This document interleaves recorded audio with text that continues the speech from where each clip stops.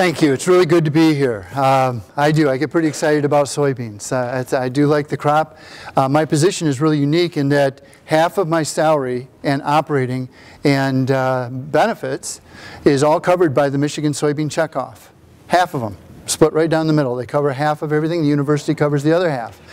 My wife was pretty excited for me to apply for this job, and I thought it was because she knew she wasn't going to see nearly as much of me because I was going to be really busy, you know, and she wasn't going to see me. Well, it turns out that was only part of it. That was part of it. The bigger part is she thought my salary was going to be half of the Michigan soybean checkoff. so there's a little, you know, and the nice part of that story is she thinks I'm worth it. No? So, well, let's just jump into this. I do do replicated trials on farm using your equipment, your planters, your sprayers, your everything, and then your combines. I take the yield data from you. I spend the month of November doing uh, uh, um, uh, both statistical analysis and, and financial analysis on the treatments, and then we present it to 12,000 producers in the state of Michigan. They get a copy of our report mailed right into their post office box or their mailbox. So um, that's what I do, and I do try to focus on profits. To me, yield is important, but if it's not making you money, that's, I don't know if you need to keep it around. At least that's my wife's attitude. If I'm not making her money, I think she's going to move on. So um, I, I try to apply that to what we do here. This is just a beautiful slide. It's the right colors, red, white, and blue. Basically what it says is everything I do as an MSU extension educator is available to everyone. And I think that's the way we would want it. So, to me, the basic tenets of soybean fertility management are right there, those first four bullets. Manage pH in the proper range. And I understand you have the luxury to do that here in Illinois.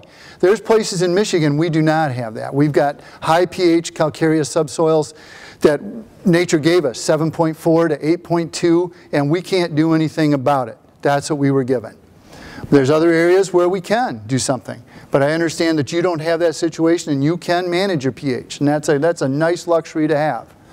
Um, inoculate your seed. We're one of the few institutions in the, in the land grant system that still recommends inoculating every year. Illinois does not. None of the other land grants do except for Michigan State and Ohio State. Jim Beuerlein from Ohio State was the person that pioneered that concept, and we kind of followed along. Um, but now I think Ohio State's going to maybe drop it, and, uh, but I think we're still going to keep it. Identify your crop nutrient needs and apply required nutrients properly. Based on the four R's, we all know those. I want to focus on pH a little bit because there's a couple things. To me, this is one of the big things that we really need to manage in soybean production. The reason I feel so strongly about this is because you can hurt yourself either way. If you underlime and you let your soils get too acid, you're going to really have a problem. You're going to tie up nutrients. You're going to reduce biological nitrogen uh, fixation. If you overlime, you raise that pH up around 7 or so, you've hurt yourself again. You've tied up manganese, the most, um, the most uh, soybeans, the micronutrient that soybeans are the most responsive to. You've tied that up and made it less available. This is the one that nobody really talks about, or at least not as much. If you increase your pH above 6.5, you're making it easier for the number one soybean pest in the world to reproduce. Why would you do that? Why would you want the soybean cyst, why would you want to give the soybean cyst nematode a more comfortable environment to reproduce in? Let's not do that. Let's keep our pH where it needs to be. So apply your ag lime. I'm a huge proponent of variable rate lime applications. Absolutely huge. You're going to get more return on your grid sampling or your sampling by soil type and, and management zones through variable rate lime applications than anything else, in my opinion. We don't recommend dolomitic over calcitic lime only if you need the magnesium. But we don't say that cal, high cal lime is better than dolomite. We don't say that, and I think the university here is very similar you'd have to really um, have something out of balance to hurt yourself with dolomitic lime because there's twice as much calcium in there as there is magnesium anyways. So to, you're just not going to hurt yourself.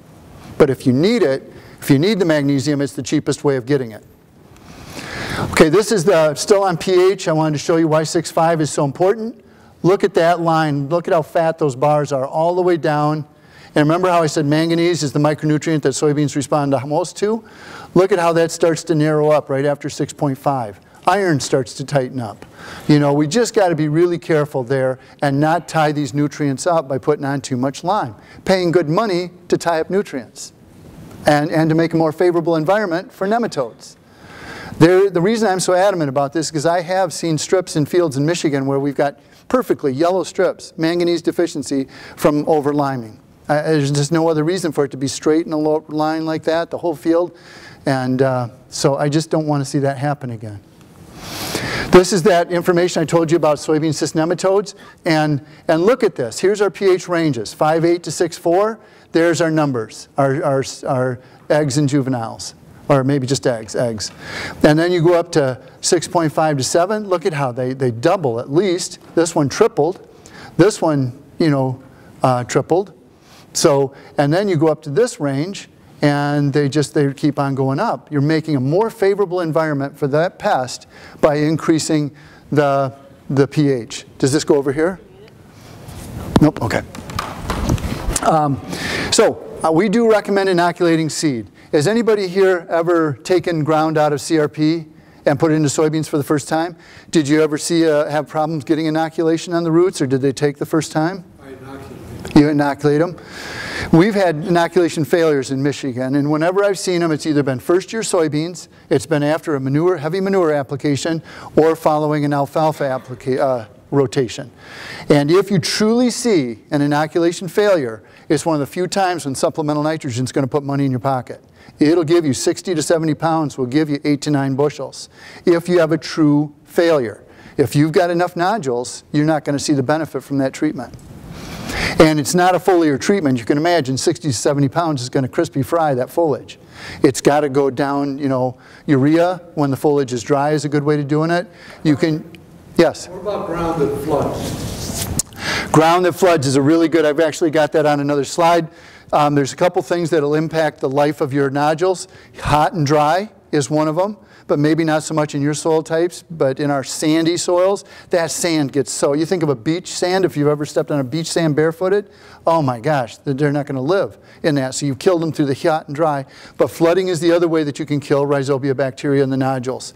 And usually they say probably a minimum of four days, more like maybe a week of continuous flooded. You'd have to see it underwater for that long a time to really have the problem. But I have seen it. Um, the trouble with the field that I saw was a very large field, even by your guys' standards. It was a large field. It was probably 80 acre field. And, uh, and, uh, but the problem with it was, is this so spotty. The grower didn't know how he was going to come in and put supplemental nitrogen in when, when there was ponding in all these different isolated areas. He had yellow pockets. Most of the field was beautiful green, but he had these yellow pockets that were probably this room or size, maybe twice this room throughout the field and he just didn't know how he's going to come back. But you dig up the roots in there, and you look at the nodules, they were just brown mush. They had just died completely, and the plants were turning yellow, and it was just nitrogen deficiency. They just didn't have any nitrogen. So it definitely can happen, but they usually say at least four days of saturated conditions. And I think seven is what I've seen more commonly, four to seven. Um, identify crop nutrient needs. This is critical, critical. And to me, the first one is the foundation, soil testing. That is the foundation of any good nutrient management program. Tissue testing has its place, and so do, excuse me, so do visual um, nutrient deficiencies. Look at that field. Does anybody want that field of soybeans? No. Uh, what's wrong with that? I'd be firing my, my extension uh, educator. So what's going on with that? Well, we don't know, but we know certainly that something's not going right. So you got to get out. You got to get out in there, dig up some plants, look at them, see what's going on. What about this one? You think anything's going on there? And the thing I'll tell you about both of those fields, they were human error. The producer, the producers did that. Two different producers, they did this to themselves. Why would we do that with 950 beans? We got to pay attention to detail. We got to do it right. These guys did not. And this guy is a top shelf producer. He was of the idea that he needed to lime to 7.0. That was his, his deal. He thought he needed to lime to 7.0. He limes to 7.0. Look at it, it's a management strip. You can see that that's clearly management. What else would be a rectangle in the field like that? It's clearly management. Um, and it's manganese deficiency. That's, that's, that, that's a close-up of that field. So if you haven't seen manganese deficiency, it's yellowing between the veins, bright green veins, always on the newest growth, early on. You want to detect it early. But that's what happened to that guy. The other guy is potassium deficiency. Did not put on near enough potassium. Just was really, really low. And I wasn't in this field very long at all to, to, to, see what was happening. You look at the margins of the leaves. It's always on the margins. Potassium deficiency, I hope you never see it. I hope this is the only time that you see this. Um, so it's always yellowing on the margins of the leaves. And even in its most advanced state, when the leaf is dying, it's still just dead tissue on the margins of the leaf. The center is still green. And that's potassium deficiency. And everybody talks about pod and blossom abortion, right? That's the trouble with not getting soybean yields, pod and blossom. I never saw so many pods on the ground as I did in low potassium, is make sure your potassium levels are where they need to be. I, they were just all over the place. I, I, I wished I would have shown, I did take pictures, I didn't bring them. Um, okay, so then we want to apply our nutrients properly. So we want to base it, our, our, our, recommendations are very similar to yours. We base our recommendations on yield goals, soil test levels, and crop removal. Then we want to use some accepted methods to get those nutrients on. And to me, again, the foundation is fertilizing the soil first. I think if we take care of the soil, get the pH where it needs to be, get the P and K where they need to be, I think your chances of seeing a response from a foliar fertilizer are really, really strongly diminished. So let's take care of the soil. It's the cheapest way. It's the easiest way. Let's do that. So let's take care of that. Then, for those of you that are in 30-inch rows, and I understand there's a lot of 30-inch rows in, in Illinois, um, if you're in 30-inch rows, you might want to consider something 2 by 2. I don't know exactly what that is. Uh, we've tested a couple of things. I've got an idea of something that works in Michigan sometimes. Um, but in furrow, I'm a little bit skeptical of that because soybean seed is just so salt sensitive. You could really burn that seed. And so I really think in order to get the nutrients at a high enough level, I think we got to go to two by two. Let's start with nitrogen because there's just a lot of talk about nitrogen on soybeans. And it's well founded. I don't want to dispute that it's not uh, well-founded. Look at that first bullet. They use a lot of nitrogen, five pounds per bushel per acre. Five pounds, just a huge, or per, per bushel, just a huge amount of nitrogen. Where's all that nitrogen going to come from? That's the reason why people think we might need it. This is the reason why we don't need it because well-inoculated soybeans will produce nearly all the nitrogen that your plants need, especially if it's supplemented by mineralization from your soil organic matter. And you've got such beautiful, dark colored, you probably have what, 3 to 4% organic matter? You don't see that in Michigan. You just don't, not unless it's a muck soil. Um, so that's just phenomenal. So you've got a really good nitrogen pool that nature gave you. Let's use that. Um, and the possible exception, this would be in Michigan, we've got some irrigated soils that just don't have any organic matter, 1%. So there's nothing to mineralize. So 70% can come from the, from the biological nitrogen fixation. Um, but this is the, gets to this gentleman's point. Um, we can definitely lose our rhizobia and our, and our, nodule performance in hot, dry conditions, but we can also lose it in flooded conditions. And uh, so just go back out and look at it. Um, so, supplemental nitrogen. The, probably the best survey of this, or best review of all the literature was done by this guy, Salvagiotti, in 2008 at University of Nebraska. I don't know, do you guys feel about the Huskers the way you feel about, uh, about Iowa State? But uh, it's really comprehensive, and you see it referenced everywhere. It's just really, really good. Three, 637 data sets from across the globe on, on high yielding environments. They basically concluded while yes, you do get some yield benefits from, from nitrogen on soys, it's rarely economical. That's the bottom line. And they've looked at all of these trials for that time period. They did come up with a recommendation. They said maybe under high yield environments you might see it. I think we qualify that and we say only on these low, these coarse textured, low organic matter soils. The kind of soils that you have with that, that uh, organic matter, I just don't think you're going to see the benefit here. You don't know what yield range that is, those type things that's hard to you? I don't, but they were high yield. I think it is in the paper, but I don't have that. Um, if you just Googled that guy's name and, and, nitrogen trials or something, you would see it. Um, But this is probably the best, most consistent data set of nitrogen performing well on soys, right here. Comes out of Kansas State, and it was a late season application. It was eight trials in those two years, eight trials, and six of the eight showed a statistically significant yield increase. So really you can take that to the bank. This is rock solid information. So what I like about it is, and they applied it at R3. They applied it late in the season, beginning pod. What's the rationale? Why are they applying it late in the season, do you think? Yep, and uh, that's when the peak uptake is. That's one of the parts of the puzzle. But also, so we got peak uptake, what's happening to our nodules at R5 a little bit later? They're starting to decline and not, not perform. So we need nitrogen. These things are dying off. So I mean, the philosophy makes sense. And they hit a home run. This is the most commonly cited uh, success story for nitrogen on soys. 20 pounds, only 20 pounds of N gave them seven bushels. I mean, who wouldn't like that? That's a really nice increase. And it was multiple years, multiple locations.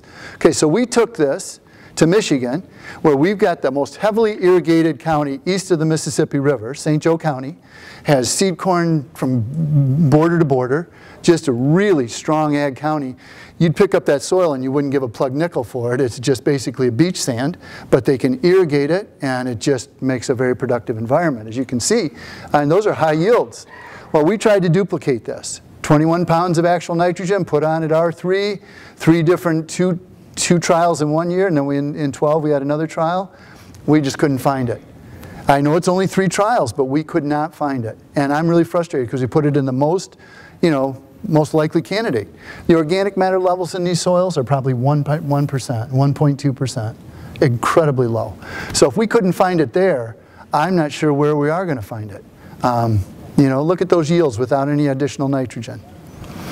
So here's another one. This is a pre-plant broadcast application. The producer up in the thumb, a little heavier soils. Uh, he put on 67 pounds of actual N and 100 pounds of urea plus 100 pounds of ammonium sulfate. So he's getting the sulfur to boot, but just if we just look at the nitrogen benefit, um, we really didn't get anything. So we spent 30 bucks and $38 an acre and didn't get anything to pay for that. That's pretty hard to defend to any of your partners in the business or whatever. All right, so now this is a foliar product that's high in nitrogen. 26% OO, it's a Wilbur Ellis product. I like to say it's similar to Coron, but I could be wrong on that, but it's about the same analysis. It's a foliar product, uh, high demand, or end demand, high end. And we put that across 8 locations in 11, 10 locations in 12. And here's the analysis. We always drive our sprayers, whenever we put a foliar on, we drive our sprayers through the untreated strips. So there is no difference other than the treatment. We don't want any other factors. So we do that. Um, and then that's when we put it on, one gallon per acre at about the R2 to R4 stage. There's the data from 2011. No yield increase whatsoever, just flat as can be across eight locations. Here we had 11 locations or 10 locations, and uh, we did see a little statistically increase there, about a half a bushel. Um, well, eight tenths of a bushel, eight tenths of a bushel there. So it is, we can say that it did increase soybean yields there, but it was eight tenths of a bushel. So what happens when we average all the sites together, we got about uh, six tenths of a bushel. We look at the economics on it, the untreated, the only thing we have is just the, you know, we don't have any product costs. So our gross is the same as our net, and that's where we're at. Here's our gross over here. We have to subtract out the product costs. We have to subtract out our, our application costs, and we've lost money. And that's a lot of environments that we looked at that in. You know, um, 18 environments, two different years, and just didn't give us anything. This is another one. This is kind of interesting. What the producer did is in 2015, he put anhydrous ammonia on his field, pre-plant, and he's going to come back and plant his corn rows over that. Well, he decided not to plant corn. So he planted soybeans over this anhydrous. And he claims he got a 20 bushel increase. He was all excited about it. He called me up. He says, you know, invest in anhydrous, you know, and uh, we found a new use. And so he's all excited. So I said, okay, let's put it. I'm a big believer in replicated strips. I need to see it in replicated strips. I don't want side by sides. I don't want an uncontrolled strip. It's got to be replicated. And this was three treatments replicated four times. no nitrogen, 40 pounds of nitrogen, and 100 pounds of nitrogen. So that's what we did. Put the anhydrous on in 30-inch rows two weeks prior to planting, and then we planted the soybeans in 15-inch rows. And I'll show you a picture of what it looks like. This is the white flag going down between the treatments. This is the untreated here with the zero. This would be one of the higher ones, probably 100. And you can see that first row landed right in the knife.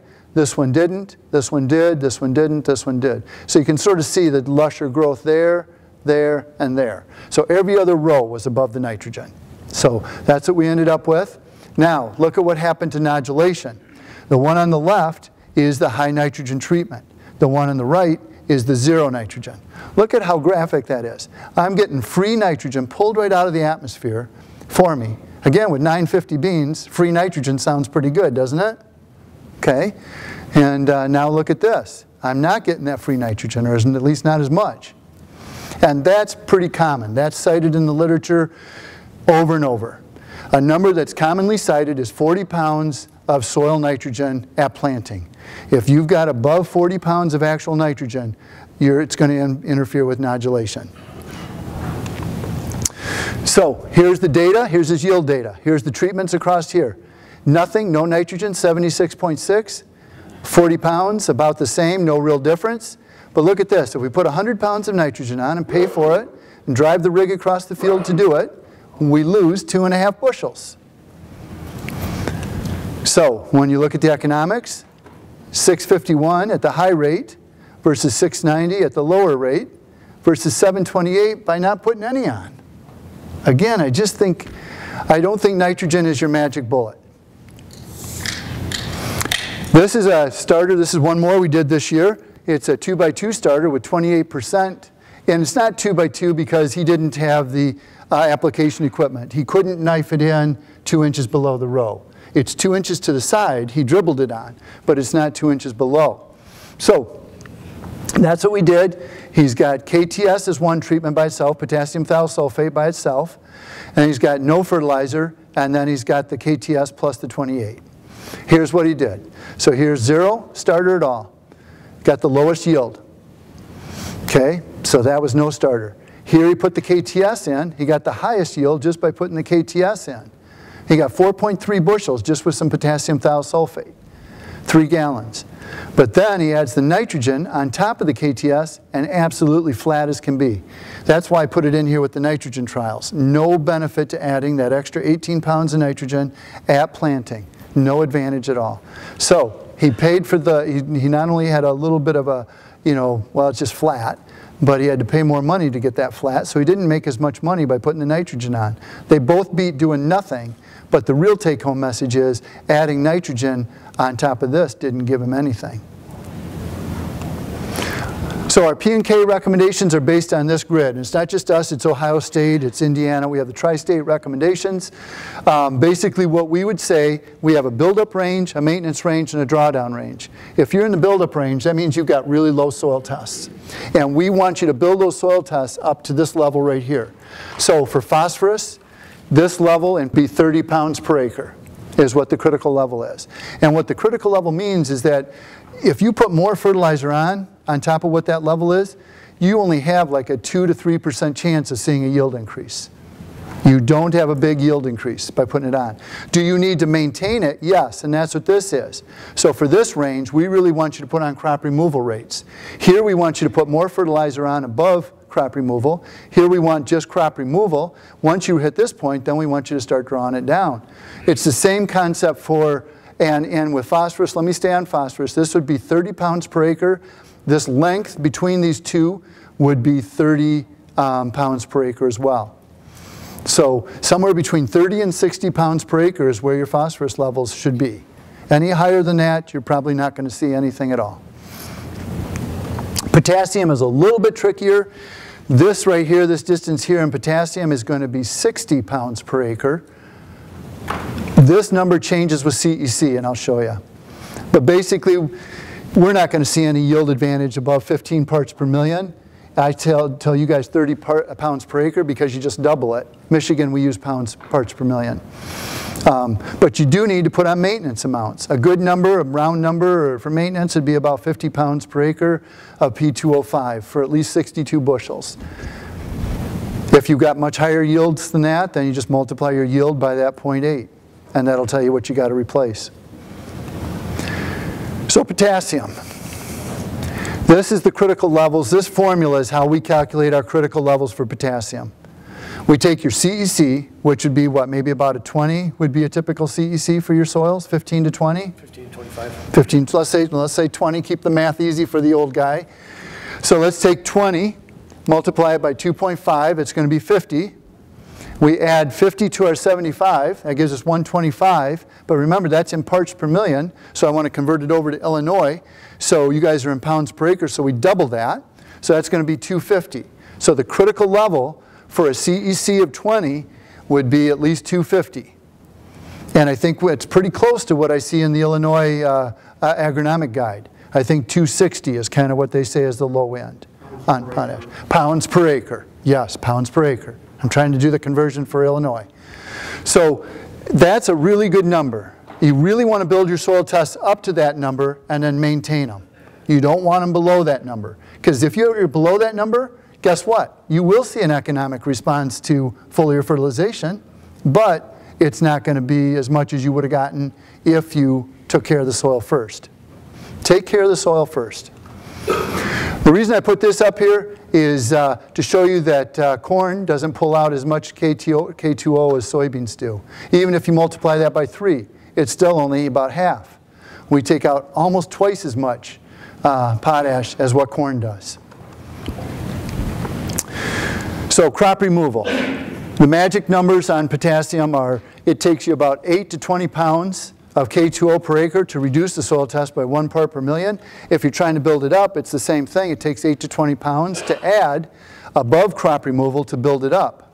So this is a very common question we had back when potash was really expensive, 800 bucks, things like that.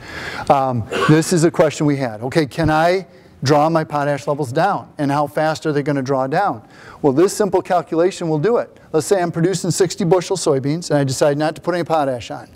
Well, 60 bushels times 1.4 pounds per acre, or per bushel, I'm sorry, 1.4 pounds per bushel, is going to give me 84. So I'm removing 84 pounds of K2O in that crop per acre. Well, in a loamy sand, I would divide that number by 8. It's going to drop a lot faster in a, in a loamy sand or sandy soil than it will a fine soil. So that's going to drop 10, 10 parts per million on me. Now if I go to a finer textured soil, I divide by 20, that same crop removal, but I divide it by a different factor, my soil test is only going to drop by 4.2 parts per million. That's something I think a lot of people don't know. I think they think it's initially it's going to drop by this whole amount, and it doesn't. There's, there's, you got to factor in those conversion factors. We looked at a lot of starter fertilizers, and to me starter fertilizer is both in furrow and 2 by 2 I lump them together.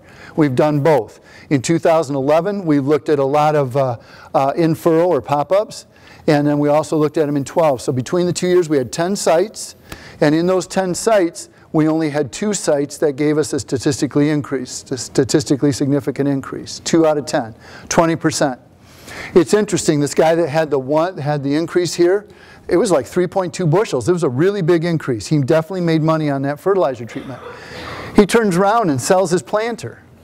And he was all set up for in furrow. The next year he buys a planter that's got two by two instead of in furrow, even though he had this nice increase.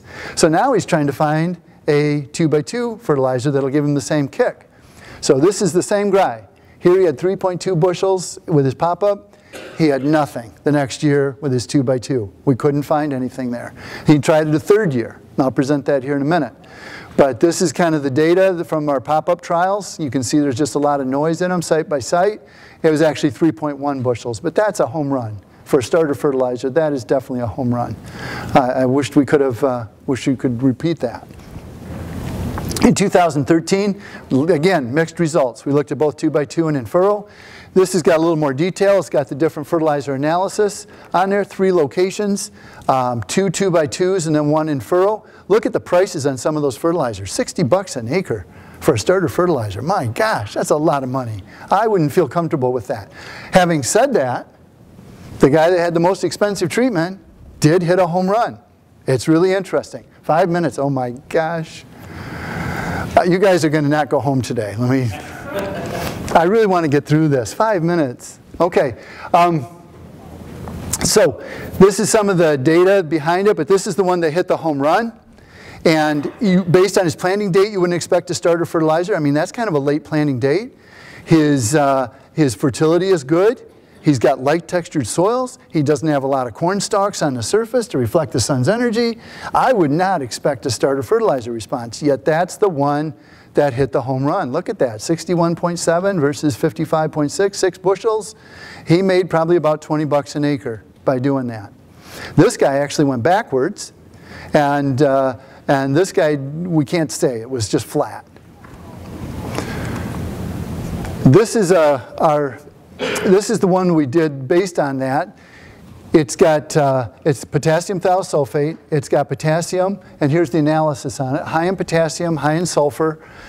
Don't put it pop-up, it's too hot for pop-up. We put it in two by two at a bunch of locations, and here's the location so you can see. I mean, that's really sorting things out. There was five, these bolded ones, where it was definitely statistically significant, and you can see the increases, 4.3, 3.6, 2.9, 2.2, some nice increases. Down here, it actually cost him yield. It burned the seed or something, it went backwards. Here's the soil test data. So when you look at this, look at these two, Calhoun 16 and St. Joe 15. So here we are, Calhoun 16, 1.8% organic matter, but look at how low the sulfur level is. And his potassium levels are good. And then let's, what was the other one I was asking to look at? St. Joe 15? Look at that, 1.1 organic matter. Again, good, good fertility levels, um, but low in sulfur. I think the benefit is from the sulfur. That's what I really think. I don't know if your soils would benefit from this or not with your organic matter contents. But in our low organic matter soils, this one seems to look good in two by two at least as good as anything we've seen. That's just a graphical representation of it and where they compare to the break-even price. Foliar fertilizers. We got to get through foliar fertilizer. I'm going to go really fast. Boron didn't give us anything, even though it did in, in a number of trials. 29 trials in, in four states gave them 1.4 bushels. We tried to duplicate that in Michigan. There's two trials in 11, nothing. One trial in 12, nothing and two trials in 2013, nothing. So this is the one where we got the largest data set. We looked at two products from uh, Nachurs, a 318-18 and a 316-16 with a total nutrient package. This is the products. This is the, the timings, R1 and R3, a gallon per acre followed by two gallons per acre, a gallon per acre followed by a half a gallon per acre plus some sugar. And uh, actually sugar was in both applications and then a little bit of nitrogen. Here's the data from the 316-16, the kind of the Cadillac one. It did give us a, a half a bushel, but a half a bushel is not going to pay for it. This is the 318-18. It didn't give us anything, two-tenths of a bushel possibly. Um, so uh, just didn't, didn't, didn't give us. So there's the financial impact. We put the foliar fertilizers on and we lost $13 an acre here and $19 an acre there. This is one that we did this year. Everybody talks about basing a foliar fertilizer mixture as a prescription based on either plant tissue sampling or soil sampling. We chose to do it with soil sampling this year because the Michigan company we worked with, AgriLiquids, bases their prescription foliar fertilizers based on a good composite soil sample from the area. So that's what we did. This is the data. We had two home runs, 1.5 bushels, 1.4 bushels, but look at that. They're still below the cost of production on the cost of the lowest cost product. These products ranged anywhere from 19 bucks an acre up to 28 bucks an acre. And this is the $19 an acre one, and they didn't meet the cost. And that does not have application in it. That's just the product cost. So we got to figure out what, we're going to look at it again, see if we can tweak the system. I think they missed an opportunity. I would have liked to seen more sulfur and more manganese, higher rates of manganese in these treatments. So, um, but manganese, the bottom line on manganese is if you don't see the yellowing, the foliar deficiency symptoms, you're not going to get an economic return to putting it on. Whether you put it on with glyphosate or you put it on by itself, you're not going to get an economic return. Um, I know a lot of us put it on with the glyphosate. The problem is that yellow flash that you're seeing with the glyphosate in 99% of the cases is not from manganese. It, it's a product, it's a, it's, a, it's a product, a metabolite of the glyphosate itself Um, Bob Hartzler from, well, that's right, you guys don't trust Iowa State University. Um, but Bob Hartzler was the one that definitely came out strong on that and is very clear. Um, this is just an example. What we did is we took the very best, um, most, the lowest cost and most effective manganese fertilizer is manganese sulfate. Even the folks that sell chelated manganese will admit this. I know they will. It's the cheapest and it's the most effective source, but where the chelated products have an advantage is you can tank mix them with glyphosate. The manganese sulfate, you absolutely cannot tank mix it with glyphosate. So that's, that's the thing. Manganese deficiency, and you're willing to separate the applications, the sulfate form is king. It's cheap and it's effective. We did that in two potentially high responsive sites and didn't find anything. So, in summary, manage soil pH in the proper range. That's just critical. If you don't get anything else out of my talk, don't overlime and don't underlime hit the sweet spot if you can do it. Inoculate your seed, maintain, and then the other thing would be take care of the soil. Take care of the soil, it'll take care of you. Um, scout for manganese deficiency early, and then if you do have inoculation failures, that's the time when nitrogen fertilizer will definitely pay. This is our copy of our report. We do we summarize uh, this year we did 10 different projects. And if you want a copy of the report, you can go to either one of those URLs. This is the shorter one, easier to remember. And then the other one is the articles that I write for the university. I write probably 18 to 20 articles a year on soybean management. And it's not just on nutrient management. I had a couple on, uh, oh, expediting harvest operations for one thing, reducing harvest losses, um, just a number of things like that. So, uh, yeah, feel free to go there. And